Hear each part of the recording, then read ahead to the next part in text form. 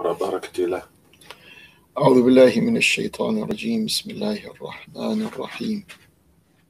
الحمد لله والصلاة والسلام على رسول الله وعلى آله وصحبه ومن اتبع هداه.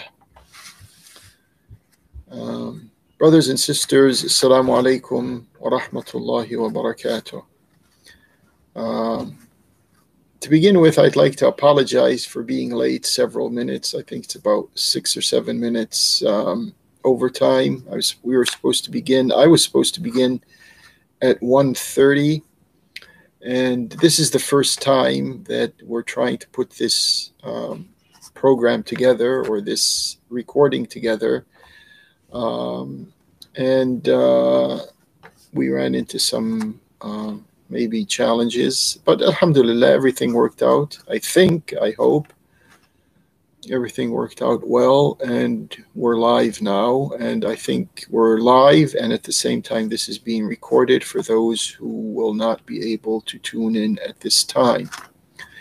Uh, I'd like to begin by thanking those of you who gave me feedback in the past week um, uh, especially those of you who were very generous in their feedback. Uh, I'll take all of that into consideration. Uh, and I think most of you know that I um, don't hold back my punches. Uh, if there's truth to be said, uh, if we have to speak truth to power, we're going to do that. Uh, we're not going to hold back. We're not going to be ashamed. We're not going to be apologetic. We're not going to be defeated. And we're not going to be inferior.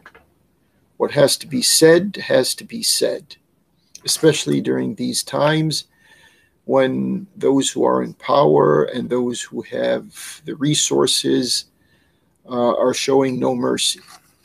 Uh, we, with Allah's help, try to express ourselves in real time.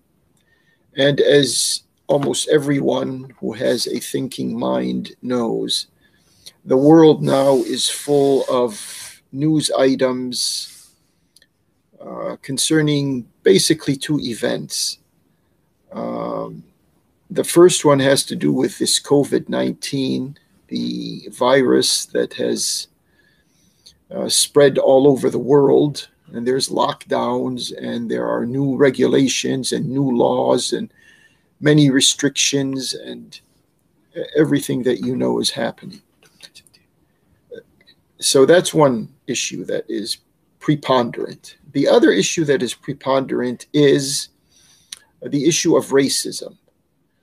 Um, what has happened in the United States has uh, opened a Pandora's box uh, in the United States, beyond the United States, and in many corners of the world. These are the two issues that we have to approach with an Islamic mind and an Islamic overview, an Islamic understanding, and an Islamic heart.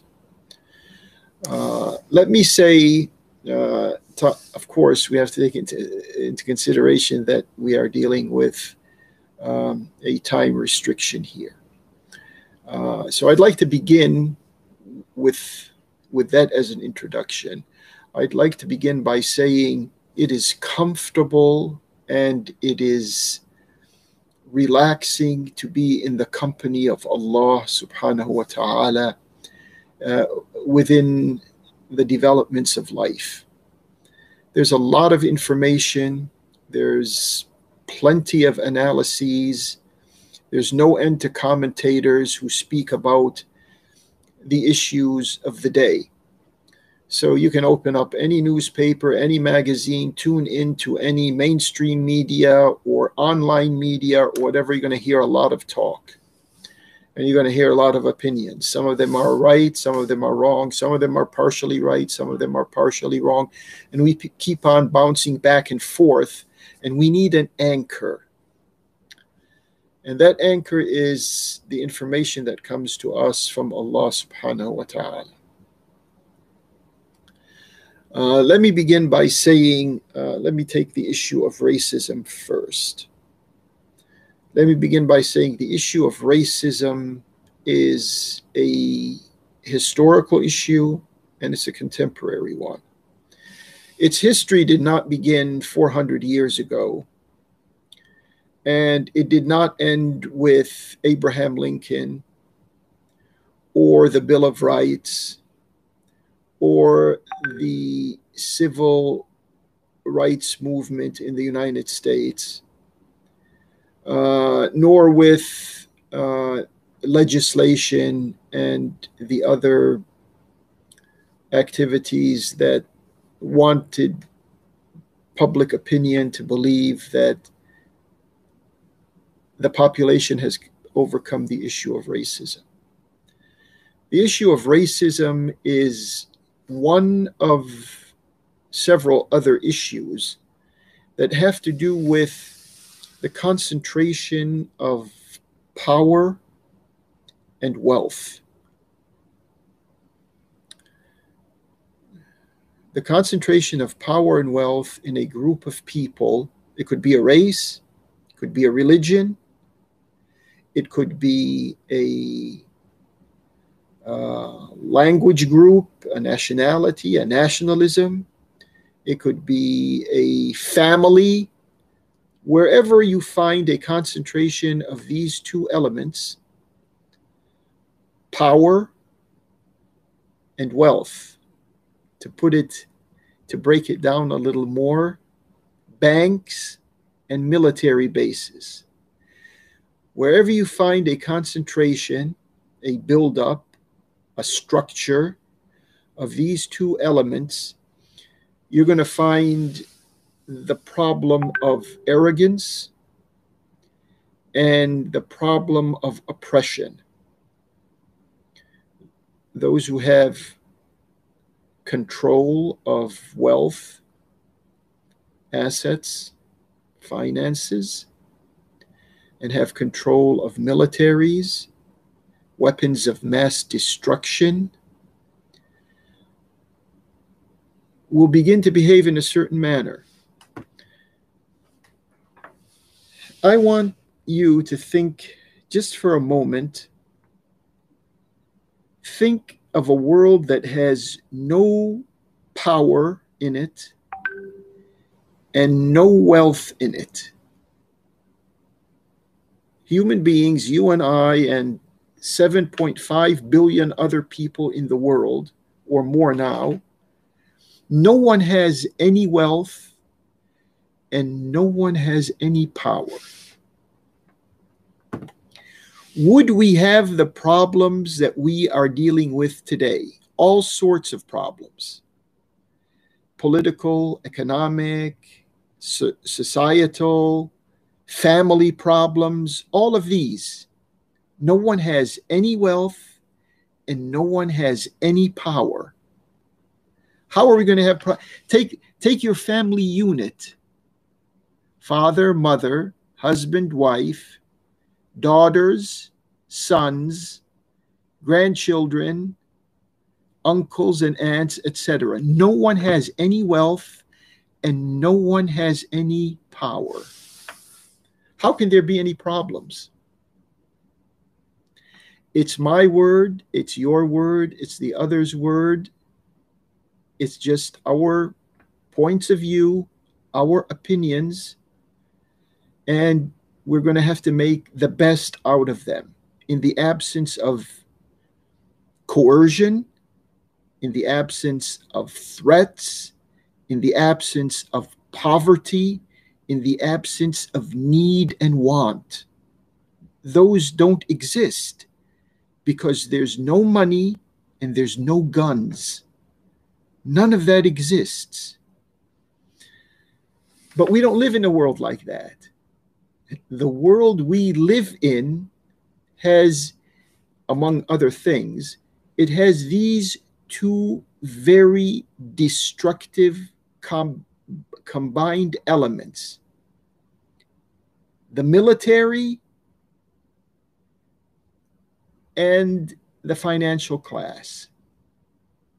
And here's where our problems begin.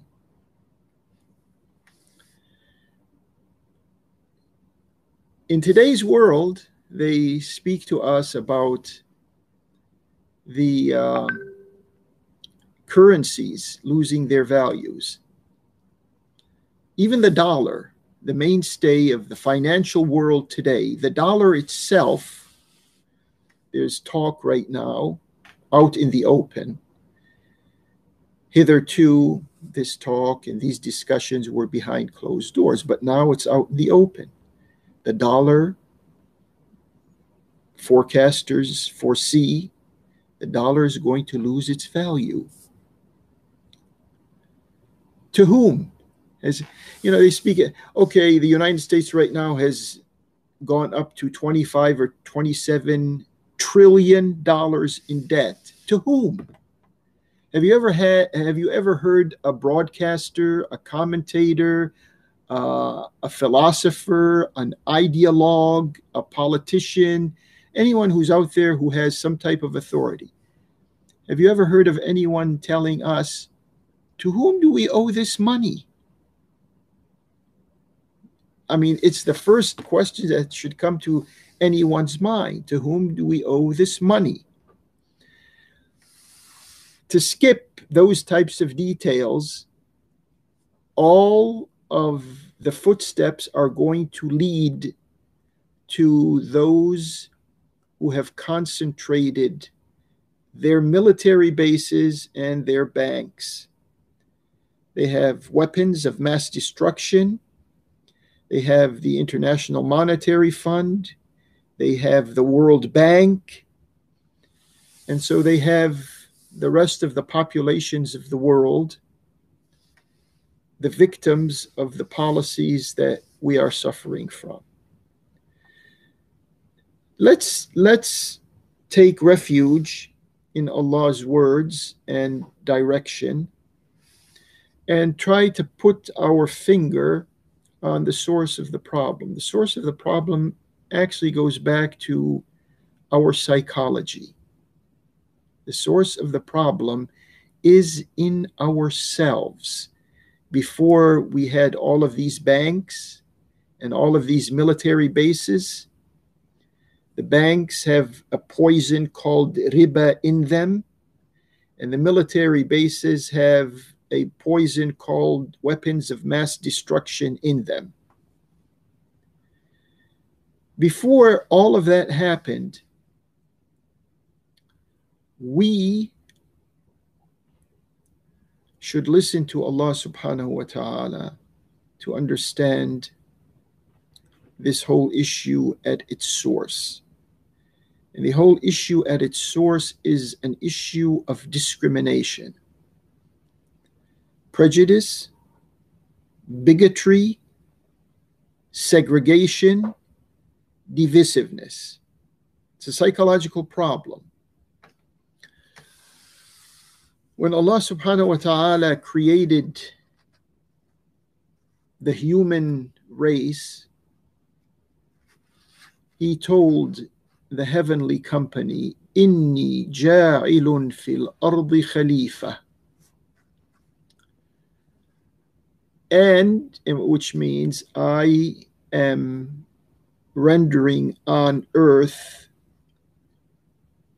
successors, a successor, those who are going to be responsible and responsible in the sense that they will be receiving directives and direction, uh, instructions and teachings from on high. And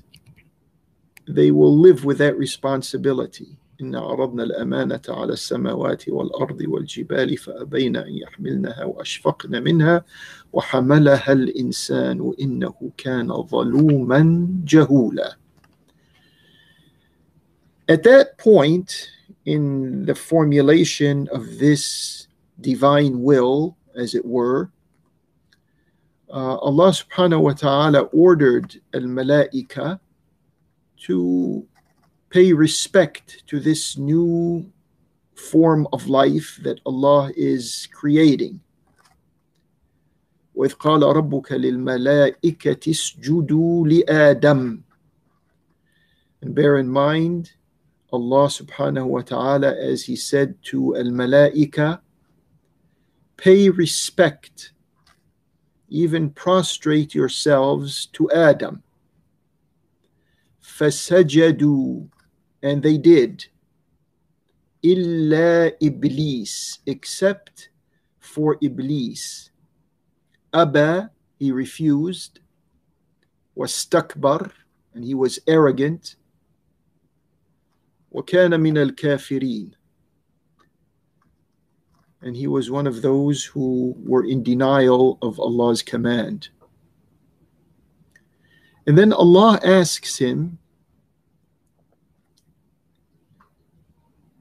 in Surah Sad, before Allah asks him, Allah declares, Inni khaliqun basharam min teen. I am to create a human being out of clay or mud. This did not make sense to Iblis. How can entities, living entities, created out of the substance of fire, let's call them firebrand beings, how can they respect someone who is inferior, someone who's created out of mud? That doesn't make sense. This is the area where a shaitan, the accursed, Satan, plays his role. And here is a this is a very interesting area that many of us are not conscious of. We have temptations and we have urges to do the wrong thing. But we may ask, where does this come from? Why do I think about or why do I entertain the notion of doing something wrong? And to answer that, there are two areas that we have to look at our own nafs. Another ayah in the Quran. This is where we feel relaxed. We go to Allah. We don't go to philosopher. We don't go to some medical expert. We don't go to human beings to get an answer. We go to our Creator, the one who knows exactly who we are. And He says, Inna nafsa la ammaratum bisu the um, the human self has a an urging tendency toward what is bad. It's a tendency that's there that keeps on pushing to do the wrong thing. This is inside of us. It has nothing to do with a shaitan. It's a proclivity in us. On the other hand, there's a shaitan who works on this proclivity and who suggests things to us. So there's something internally, so to speak, and there is something external that interferes in our internal thoughts. And that something that is exterior to outside of us, not within us, makes its way into our thoughts.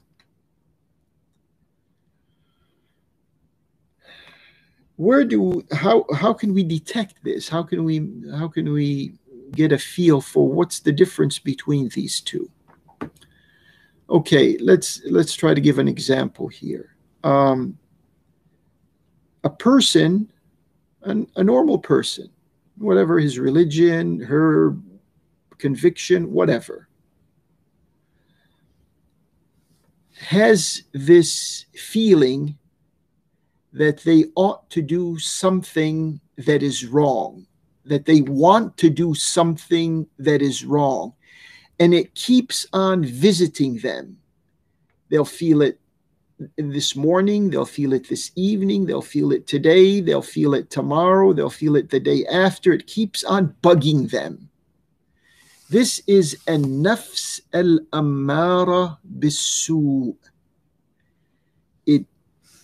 It presses on you the area of determination in you to do the wrong thing. That wrong thing there's a lot of things under that wrong thing included therein. And nafs al amara bisu. Okay, so we can get a sense of okay, I want to do this, but I know it's wrong, so I don't do it today. Then I, I get the same feeling tomorrow and the same thing after that. And it keeps on bugging me until I either conquer it with my free will or it subverts me to doing what is wrong. Where is it? Where is the shaitan in all of this? Allah subhanahu wa ta'ala. See, once again, we refer to Allah, not saying, you know, we go to this person, that person, try to. These are not sub. Uh, uh, uh, shaitan, we can't put him in a laboratory to figure out how he works. But Allah subhanahu wa ta'ala says to us for our detective potential,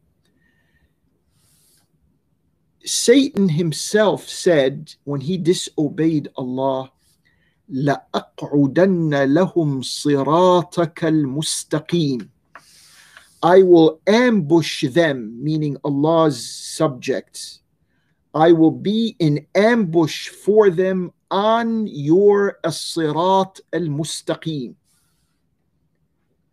There's a there's an expression in English that says the devil is in the details. The the correct understanding for this is a shaitan is to be found when a person is on a sirat al-mustaqim He's waiting for you as you're on your way to Allah. لَأَقْعُدَنَّ لَهُمْ صِرَاطَكَ الْمُسْتَقِيمِ So w- w- where can you expect to encounter the suggestions, the whispers, the internal thoughts of a shaitan? It's not in a brothel, it's not in a bar, that's where your nafs al amara is taking you the wrong way. You can expect to encounter a shaitan when you are pursuing Allah's orders, guidance, and instructions. He's going to try to interfere right there and then. So I know I began with speaking about what is a social, a political, an economic issue, but then I said the roots of all of this is psychological. Allah subhanahu wa ta'ala says, Inna ibadi laysa laka alayhim sultan. Allah is speaking to this Satan, this evil uh, force that is located more in the thoughts of men than in the emotions of men. And nafs al amara is in our emotions, shaitan is in the evil thoughts that are rationalized to appear as if they are virtuous thoughts. And that was his ex- explanation. ما منعك أن تسجد إذ أمرتك. Allah says to this shaitani being, what was it that made you not res- show respect to Adam as I ordered you to do? ما منعك أن تسجد إذ أمرتك.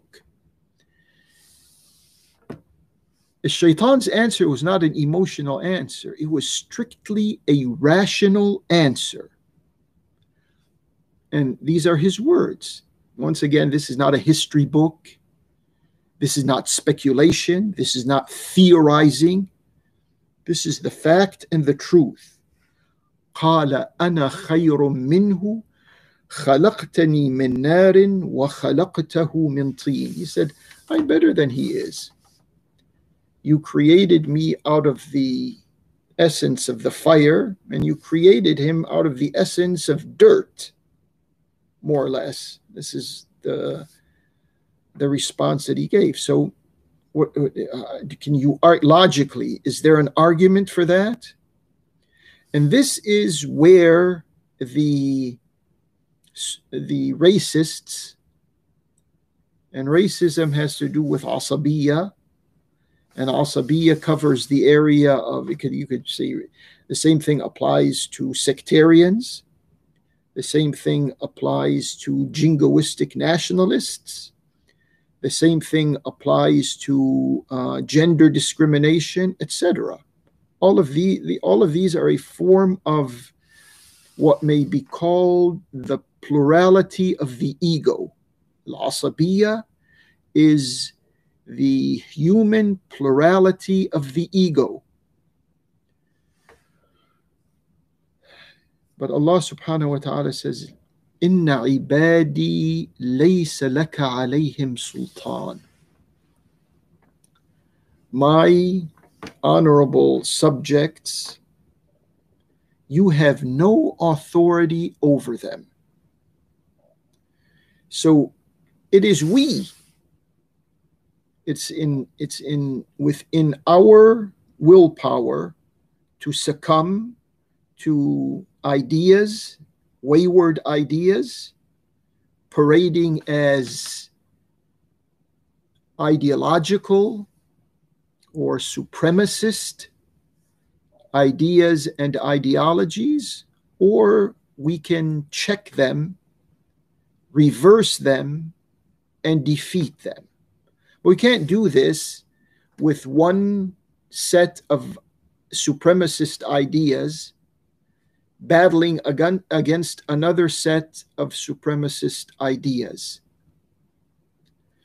There is a uh, a quote in the literature of Al Hadith Al Qudsi that's the uh, information coming from Allah that, to put it in a short sentence, is not an ayah and not, a hadith. It's, be, it's between an ayah and a hadith, referred to as al hadith al Qudsi, in which Allah subhanahu wa ta'ala says, if you, Allah speaking to people, to us, if you believe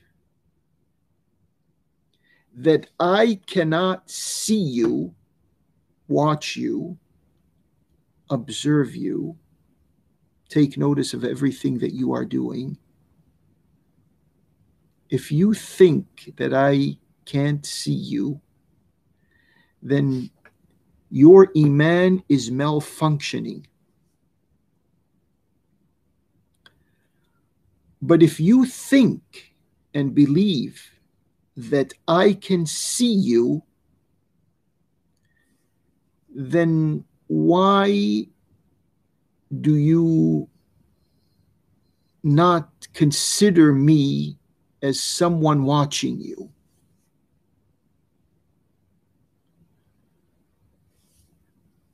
This brings us, and I think right now, um, a lot of things to say here, but Uh, as is usual, I like to um, to end, even though I know I have much more to say on this subject. And uh, once again, I'd like to have your feedback uh, from this first presentation so we can improve future presentations. Uh, but we have some developments coming from our inferiority. I don't say this in a derogatory manner. I don't say this to demean anyone. I only say this because if we were 2 million 2 billion obedient Muslims following listening to Allah subhanahu wa ta'ala following what he is telling us, we would not be in the at the receiving end of bombs and extortion. Bombs from the military and extortion from the banks. Why in in why should we have in the prisons in the Arabian Peninsula, the birthplace of the Prophet, the birthplace of Islam, why should we have prisons that right now are filled with committed Muslims? Why don't we have it within ourselves to think about those who have power as they themselves being the inferiors? Why can't we have this as a shared conviction held to by 2 billion Muslims. Um, so I think um, our thoughts should be elevated, and they can't be elevated by listening to a philosopher or by listening to an ideologue unless these philosophers and these ideologues are entrenched in the Quran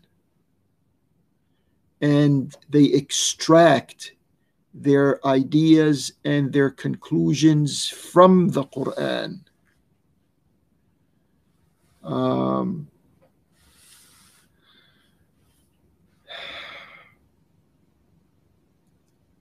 I I feel the weight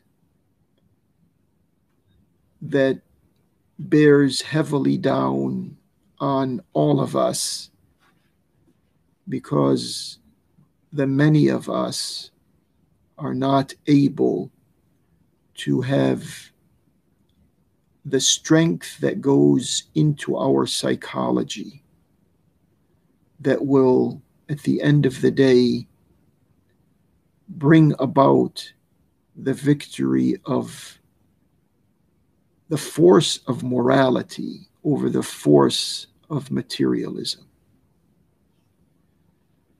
And may Allah subhanahu wa ta'ala guide us all.